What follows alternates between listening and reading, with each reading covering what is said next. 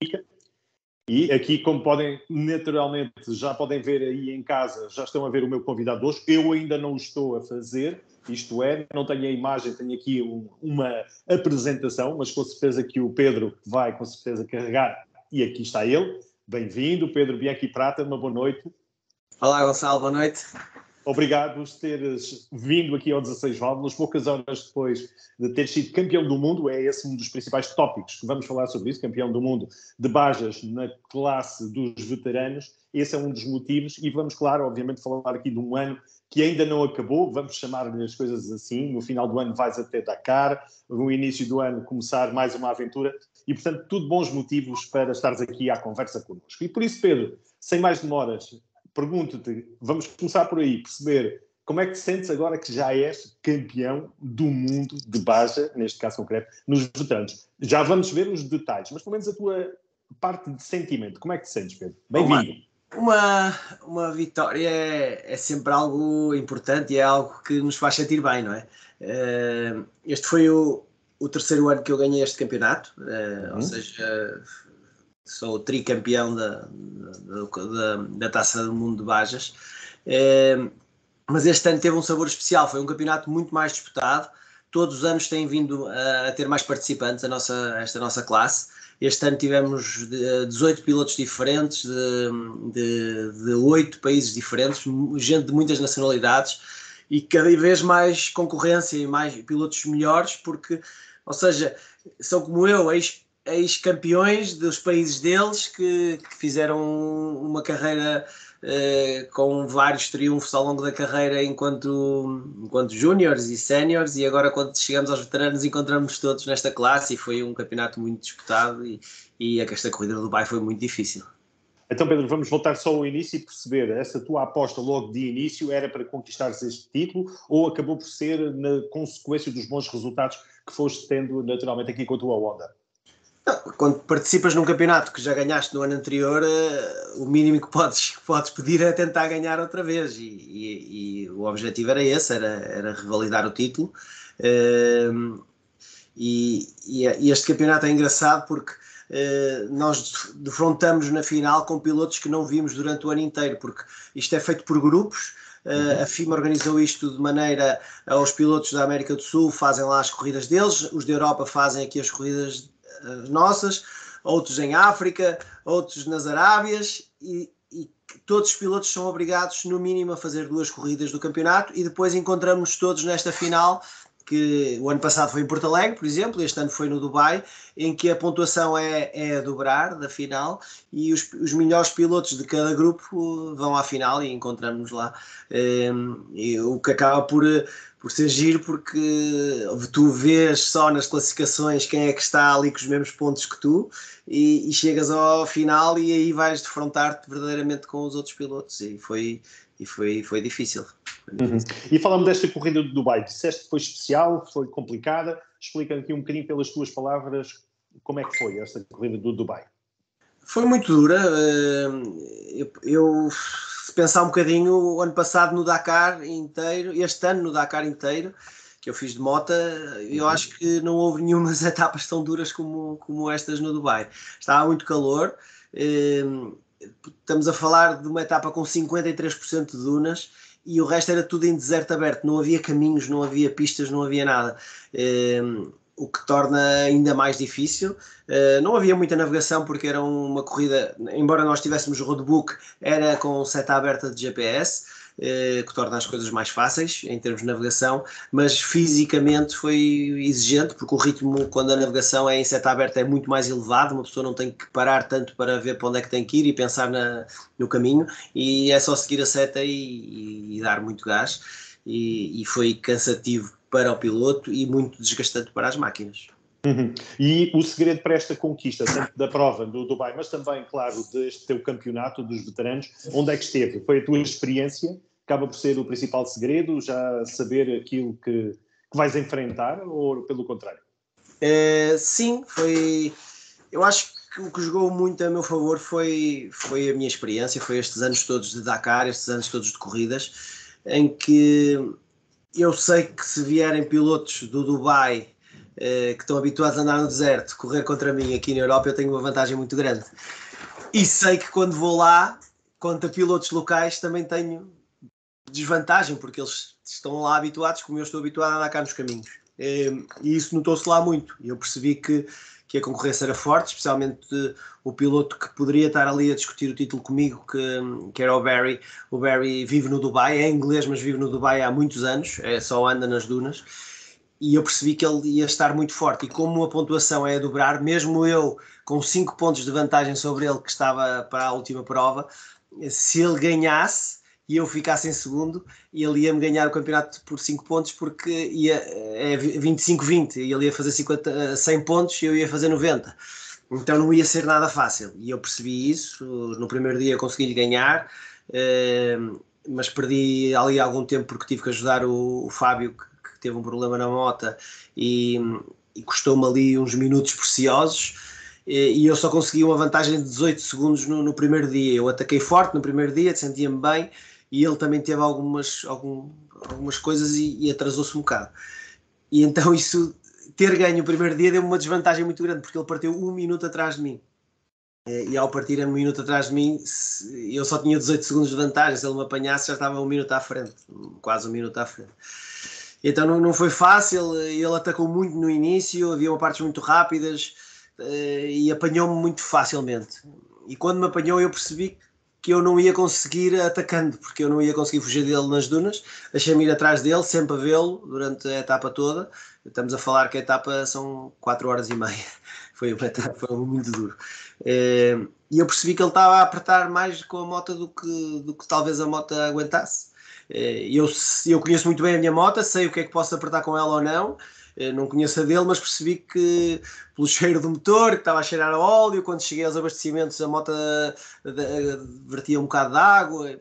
Eu percebi que se calhar ali o meu caminho não seria tentar ganhar-lhe na pista, mas tentar ser consistente, estar a pressionar ali porque estava perto e ele sabia que eu estava perto porque cada vez que ele cometia, cometeu um ou dois erros de, de navegação abria mais, mais uh, para ir apanhar os waypoints demorava um bocado mais de tempo e eu, eu apanhava e ele uh, apertava outra vez e a moto dele cedeu. E eu estava perto, e ainda parei para ver se ele precisava de ajuda, deixei-lhe uma corda para se ele quisesse ser rebocado ao deserto, não ia eu rebocá-lo, porque nada ia rebocar, uma moto rebocar outra moto não é fácil e, e não ia fazer isso.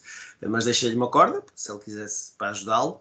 E depois eh, ele não conseguiu resolver o problema e a moto dele partiu o motor e, e o campeonato ficou resolvido. E, e agradeceu no fim a corda? Veio devolver a corda ou está lá numa. Por acaso não me devolveu a corda, devolveu-me depois umas fitas que eu lhe emprestei para ele carregar a moto numa pick-up lá de um, de um árabe, mas, mas depois não me devolveu a corda, mas também é, faz-se outra corda. Antes fosse isso.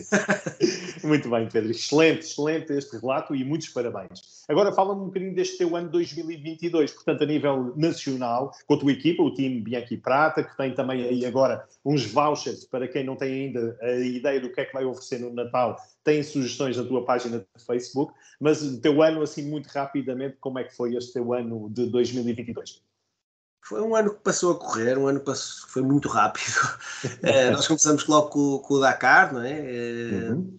Em que eu fui é, trabalhar como mochileiro do Paulo Oliveira para tentar levá-lo ao, fim, ao final, como o primeiro piloto moçambicano a, a, completar o Dakar. E que esteve aqui no 16 Válvulas a, a, contar a aventura dele e a agradecer o teu trabalho. Ele esteve aqui.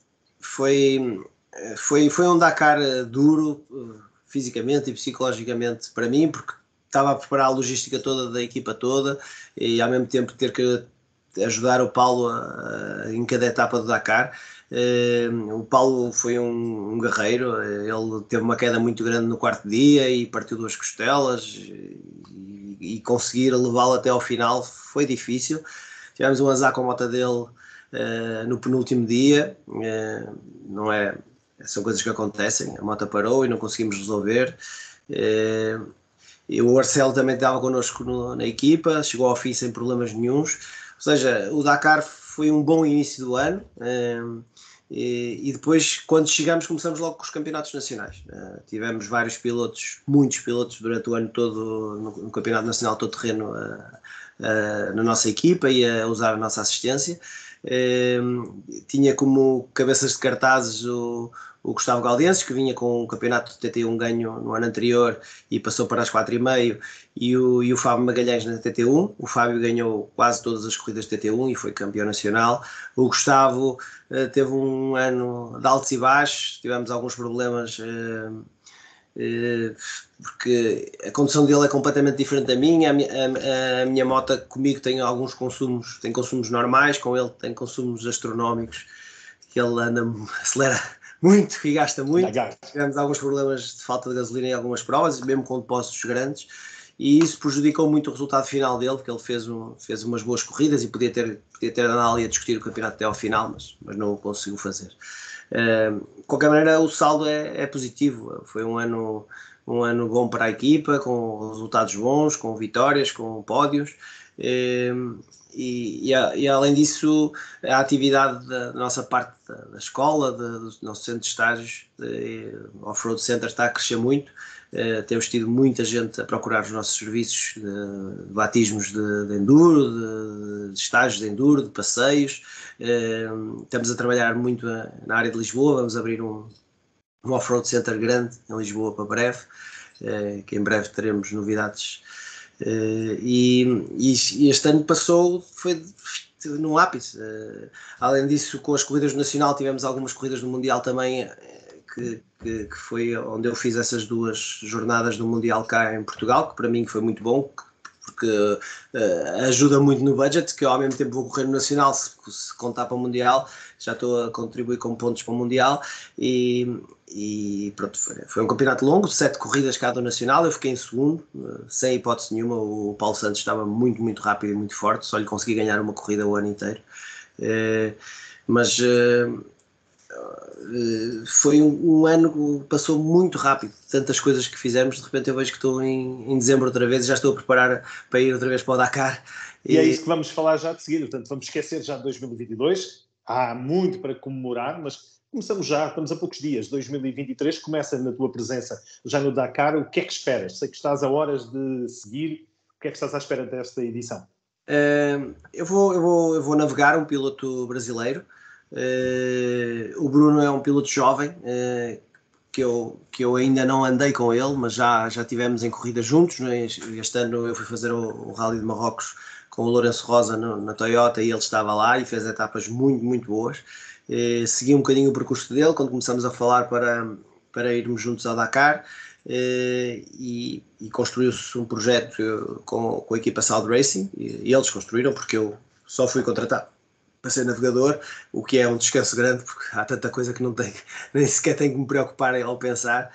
E, e agora as coisas estão todas, estão todas prontas. Uh, vou embarcar no dia 26 uh, eh, e depois chego no dia 17 de janeiro. Uhum. E o resto, vamos dizer, a nível nacional, presença, eh, mais uma vez também, com, neste caso, com a presença do Campeonato Nacional, mas também com o Lourenço Rosa, porque foste apresentado também como navegador dele. Não, eu, eu, eu fui apresentado como navegador dele, o projeto era para fazermos o Rally de Marrocos e, e fazermos, o, uhum. fazermos o Dakar. Uh, mas o Lourenço, por motivos profissionais, uh, optou por não, não, não continuar com, com o projeto para o Dakar e, e eu tive que arranjar outra, outra solução, uh, porque acaba por ser o meu trabalho, e, e, mas para o ano ainda não, não combinamos mais nada. Uhum. Mas a presença a nível do Campeonato Nacional, da tua parte? Vou estar com a equipa, vou estar com a equipa, vou, vou correr de moto e, e, vou estar com os meus pilotos na, no Campeonato Nacional todo terreno, mas motas. E vais para o quarto campeonato dos veteranos? Depois Sim, quero, quero voltar a fazer o Mundial, já saíram hoje os calendários. Eh, só, só, vamos ter cá uma prova em Portugal, a Baixa do Oeste, depois uh, vamos ter a mais perto será a Baixa Extremadura ou a Baixa de Aragão, que será alguma uma dessas duas que, que irei fazer. Ehm, e depois a final ou será na Jordânia ou será outra vez no Dubai.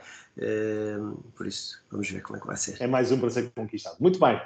Pedro, para terminarmos, tinha-te pedido, e obviamente vamos por aqui também terminar, porque sei que contribuíste também tu e estiveste visivelmente eh, à disposição em relação à Associação Sara Carreira, penso que seja assim o nome, a Fundação Sara Carreira. Queres-me, neste caso concreto, mostrar de novo o capacete e explicar um bocadinho para quem esteve um pouco mais uh, afastado dessa que foi a notícia? Portanto, nós percebemos que tens aí no capacete, é visível essa parte, mas explica-me tu, Pedro, e aquilo que estás a fazer para contribuir. Uh, A Associação Sara Carreira é, tem feito um trabalho espetacular, ou seja, todos os jovens no início da sua vida, se tiverem a formação, acesso à formação, acesso a estudarem, eh, têm probabilidade de no futuro terem um futuro melhor e uma vida melhor. E eu tenho a sorte de, de ter tido os meus pais a ajudar-me desde o do início da minha vida, nos estudos, fui para a faculdade, depois larguei a faculdade para ir para as corridas e sempre tive um, um apoio grande dos meus pais e isso permitiu-me uh, seguir o caminho que eu quis seguir e estar onde estou agora. Uh, a Associação Sai Carreira faz um bocadinho disso, pega em jovens que, que têm necessidades e que têm potencialidade, porque têm que provar que têm potencialidade, e, e ajuda-os para construírem o futuro deles. Isto é a minha maneira de tentar ajudar a associação, uh, divulgar o, nome da associação cá em Portugal e lá fora, uh, para a associação ter mais notoriedade, para conseguir mais apoios, para esses apoios permitirem ajudar mais crianças. Neste momento eles estão a ajudar entre crianças e jovens, já 45, 45 jovens e crianças, que, que é muito bom. E, e isto foi a minha maneira de tentar ajudar, tentar publicitar ao máximo. Uh, usei dois capacetes na, no Dubai, um dos capacetes ofereci-o ao Tony Carreira agora na, na Gala dos Sonhos, né, no fim de semana passado, e este vou guardar comigo para, para o meu museu como um dos, um dos capacetes que eu usei no Campeonato do Mundo em 2022, como já tenho os outros dos outros anos anteriores se alguém na associação tiver um sonho de ser piloto também de motos como tu, uh, portanto, tu podes ser aqui o padrinho, vamos dizer, desse trabalho. Sim, nós, nós também estamos a começar uma colaboração para ter uh, jovens que, que, queiram seguir esse caminho ou perceber, quer seja na parte de piloto, quer seja na parte mecânica, também uh, podermos apoiar ao máximo na, na, nessa, nessa parte. Muito bem, fico muito contente. Sim, senhora. Pedro, não te vou tomar mais tempo, sei que estás a preparar, ultimar mesmo os preparativos para essa presença no Dakar, mas vou-te agradecer teres nos disponibilizado estes minutos para percebermos um bocadinho do teu ano 2022, mas ficamos já ansiosos por 2023 e ficam os parabéns. Claro, é mais um português em grande plano a estar aqui connosco. Nós somos, para todos os efeitos, o blog dos campeões e, neste caso, tenho aqui um campeão do mundo, não é todos os dias, e é com muito orgulho que recebo e entrego-te os parabéns, como português, com o orgulho grande que tive nessa tua conquista. Um grande abraço, Pedro, e ficamos à espera de mais notícias okay. e mais oportunidades. Muito obrigado, um grande abraço. Corra tudo bem, Pedro. Uma boa obrigado. Obrigado, obrigado.